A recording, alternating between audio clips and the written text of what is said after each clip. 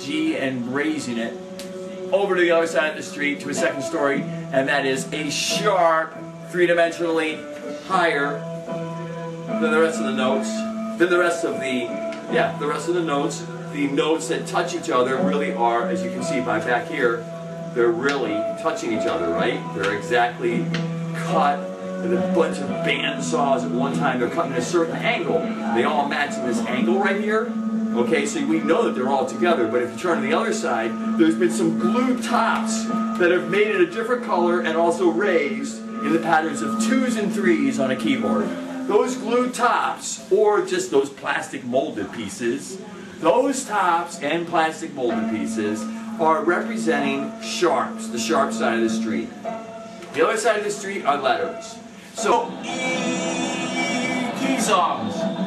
Okay, we're like, E is a very important note to find on the piano. It happens to be the top half. If you want an 88 grand piano, a wooden piano, like a piano that's wood, that's made out of wood, that's like this, wooden pieces with levers and springs and hammers and strings, which is a really cool thing. If that was 88 keys, it would go all the way from the bottom A all the way up to E and stop, and that would be halfway of the piano. And once you hit E, then from F all the way up to that very top note of high, high, high, super high, super duper high, very high, super duper high, C, the highest C on the piano, 88 key piano, that happens to be 44 keys. So the middle of the piano is between E and F. I start on E. Teaching everyone where is E. How do you teach where E? You raised keys that are two. There's two of them. Here are three houses, yards of a neighborhood, and they're called letters. Now these other notes which are called sharp letters, their main distinction is they are raised off the plane.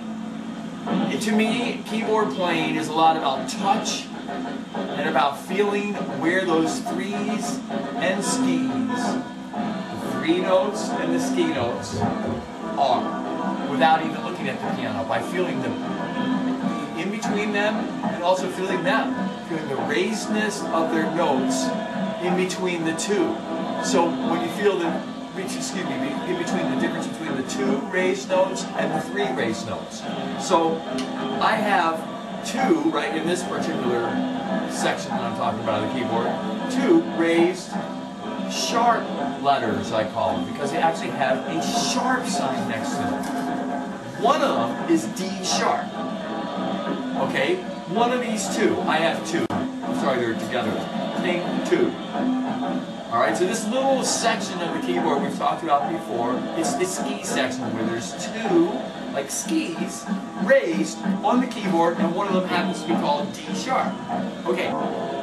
Okay, we got the two skis, which are the two raised notes.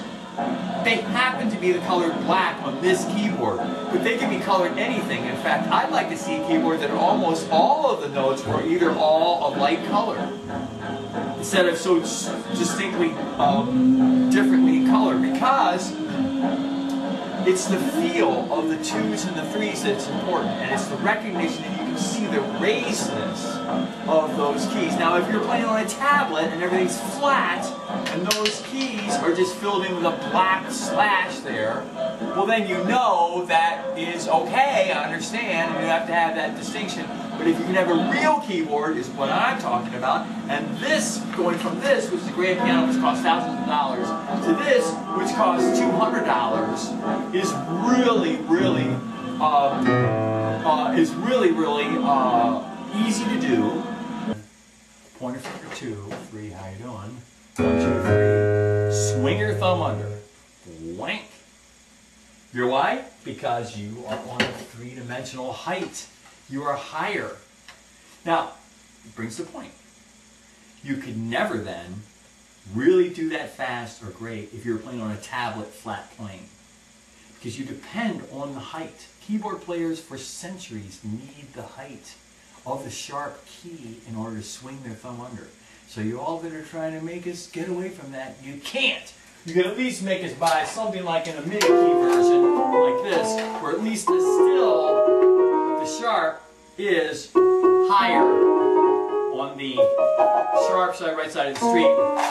Remember the sharps are higher than the letters A, B, C, D, F, G, G, F, U, D, C, B, A. Oh, oh yeah, the sharps. Oh yeah. Yep. What about that C sharp? That D sharp, that F sharp, that G sharp, that A sharp.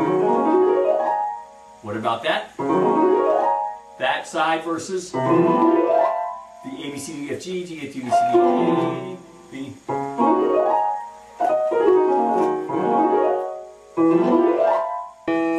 What is a distance? One half step is each touching key on a keyboard. I hold these five keys in front of you. These five keys are touching each other on the keyboard and the grand piano. Believe me, they are. These grand piano keys are representing half steps. If I hold two of them together, they are half step, especially if they only if they are touching each other. There's two ways to touch each other on the keyboard. One is to touch a sharp to a letter yard. A letter sharp to a letter yard. A letter yard sharp, excuse me, a letter, ah, a letter sharp yard to a letter yard. By touching each other, uh, like this,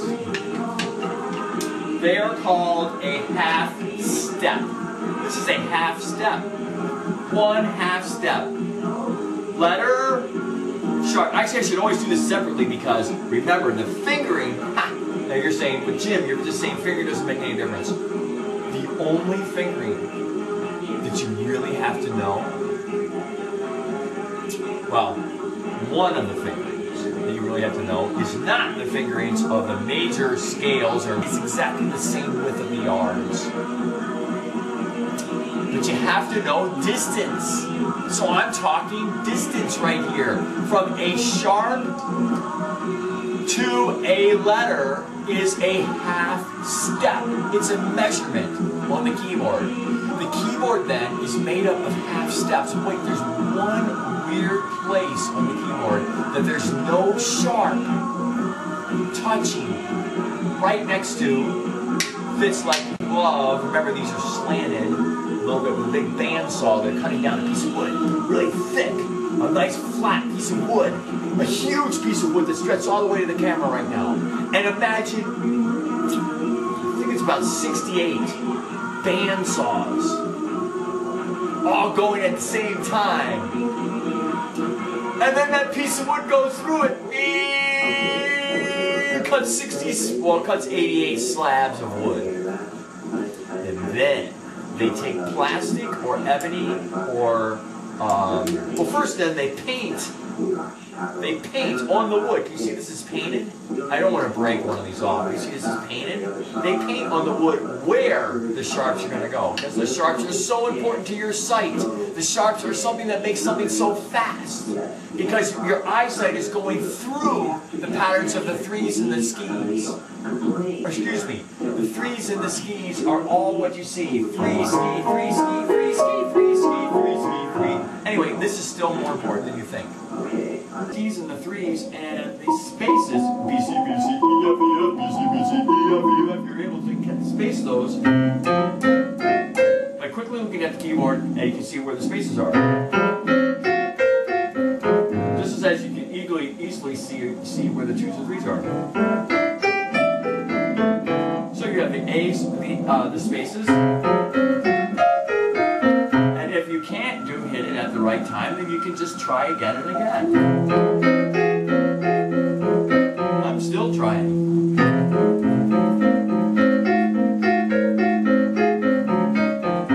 And also the threes and the skis. Here are the skis. Remember the skis? One so, okay. All right, let's see here. So is this? Is this? It cuts off. So if I'm back here, and if I'm up here, and if I'm back here, and if I'm up here, it's all about the angle. Huh? So it's better to be here, because then you get to see me. So.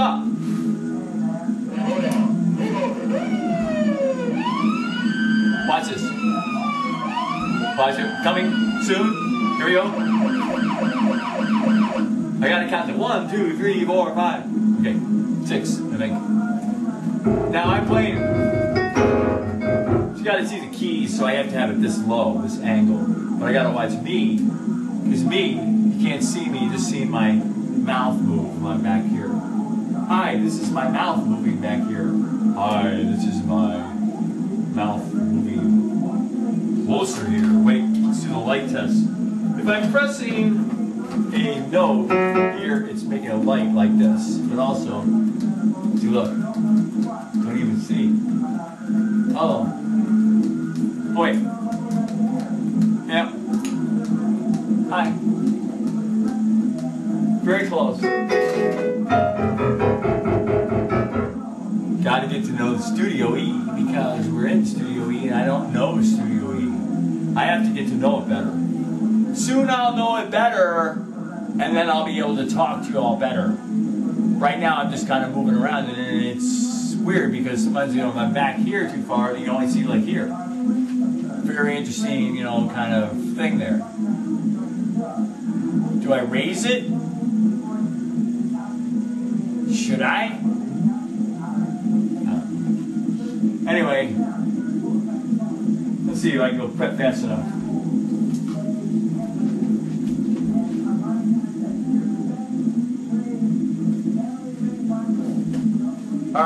This. I think it's it's this. Okay. Yeah, it is this. Hold on.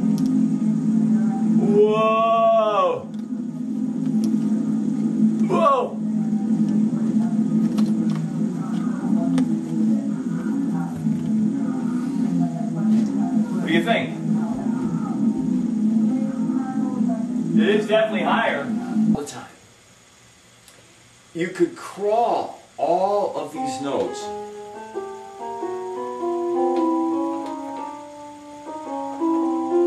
You could crawl each one.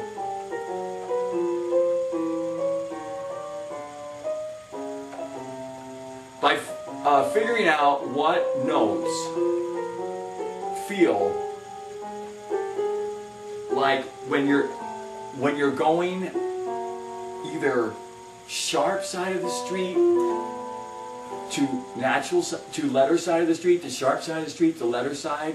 Yes back and forth back and forth when you're in chromatic city and you're playing every single note every single note or every single possible house or yard or whatever that is on a street is what is in a city. That's what you're playing every single one. You um, get a feel for how your brain receives the fact that you are not when you're playing both um, hands at the same time your brain is thinking am i in the threes zone or am i in the uh, ski zone. And I happen to be starting on D, right in the center of the skis. And I'm just walking out one note at a time away from each other. Just feeling what it's like symmetrically to walk a space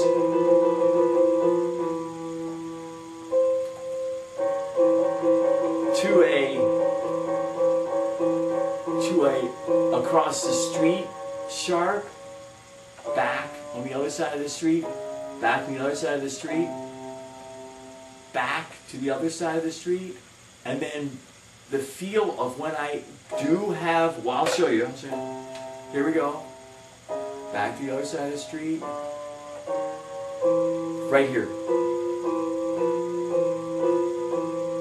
The together yards that you don't cross the street. We stay on the same side of the street for that one little moment. Then we start crossing back and forth. G sharp. Then we reach it again.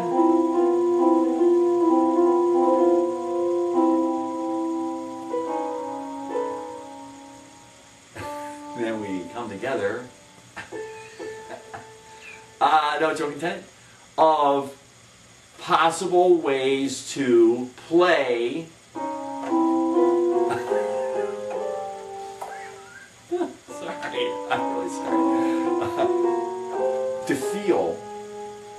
Feel of the keyboard without really looking at it.